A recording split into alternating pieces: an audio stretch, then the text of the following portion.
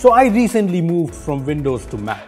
And one of the things I love about macOS is the quality of the apps available for the platform. Seriously, there are a ton of great apps for macOS out there. So I thought why not share the most essential Mac apps with you guys.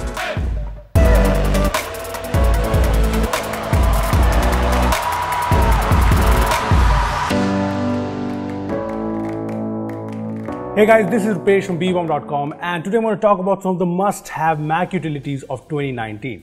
Do note that I'm not including popular apps such as Alfred, BetterTouch Tool, etc. because you probably know about them.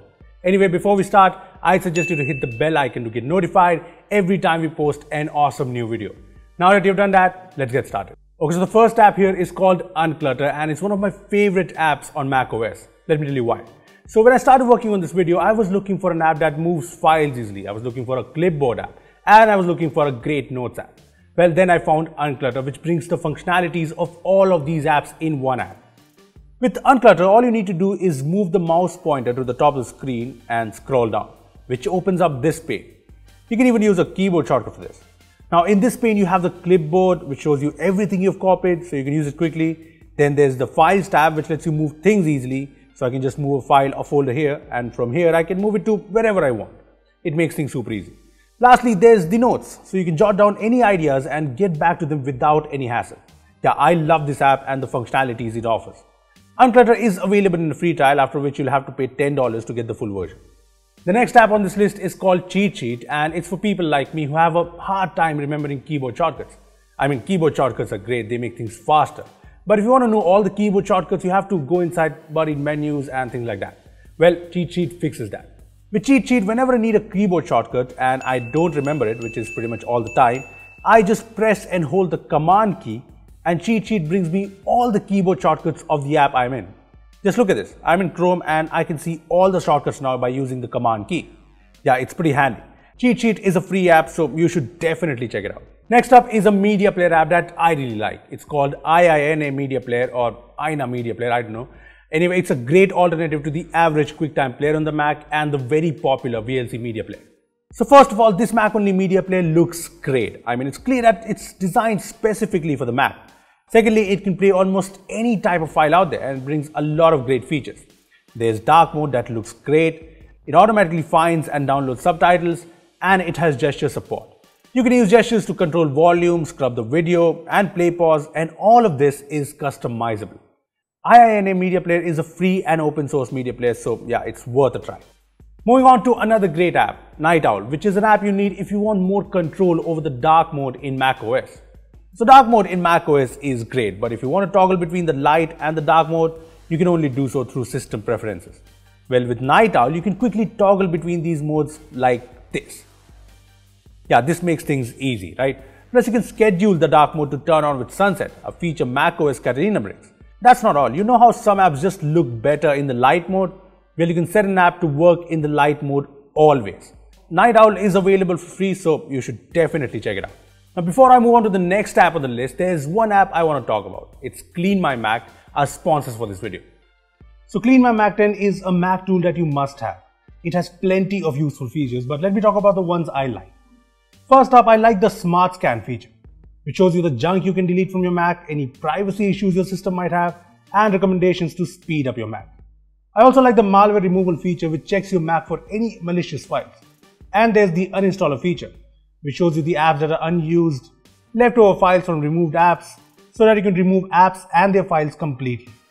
I also like the SpaceLens module here, which shows you the largest files on your Mac in this cool looking map and this definitely gives a better idea what's taking up the most space. So as you can see the trash is taking up the most storage on my Mac so I can quickly remove it. Lastly Clean My Mac X shows the large and the old files so you can free up storage quickly.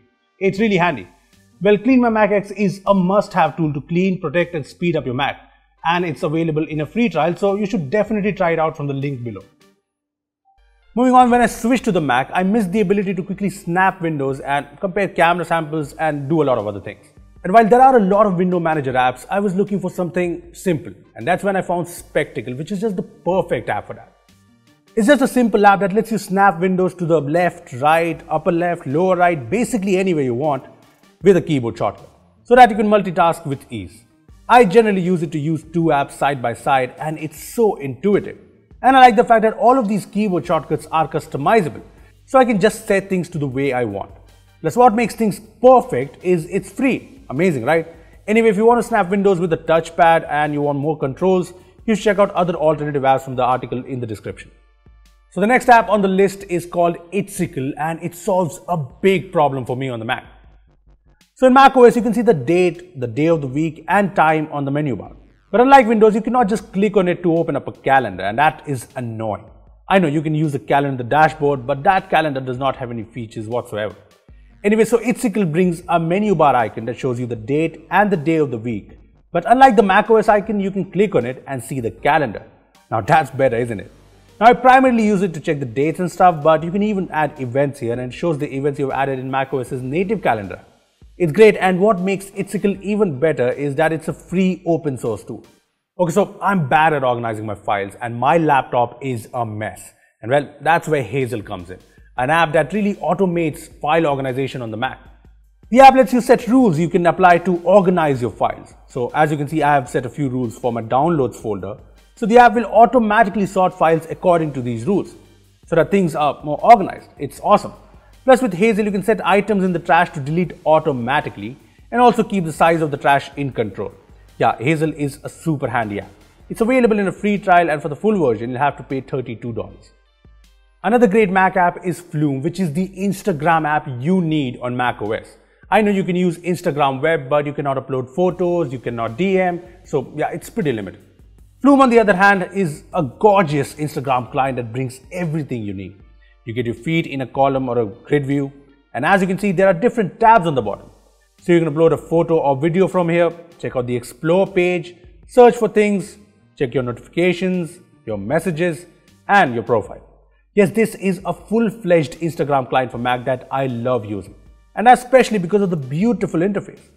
Flume is available for free, but the ability to upload photos and use multiple accounts are limited to the Pro version, which is priced at $20. Moving on, if you own a Bluetooth headset, you would know that connecting it to the Mac is a pain. Yes, sometimes the headset auto connects, but mostly you have to connect to it manually by going through multiple options. Well, this is where Tooth Fairy comes in. This is a tool that makes connecting to Bluetooth devices on the Mac super easy. With Tooth Fairy, you can create separate menu bar shortcuts for different Bluetooth devices, so you can connect to them with just a click. It's really handy, plus you can customize these shortcuts to see details like the battery of your headset. It's really great. Tooth Fairy is available for $5 on the App Store, but it's worth the price. So with all these apps, the menu bar can get pretty crowded, right? Well, there's an app for that as well. I'm talking about Vanilla, which is a tool that frees Mac OS's menu bar from all the clutter.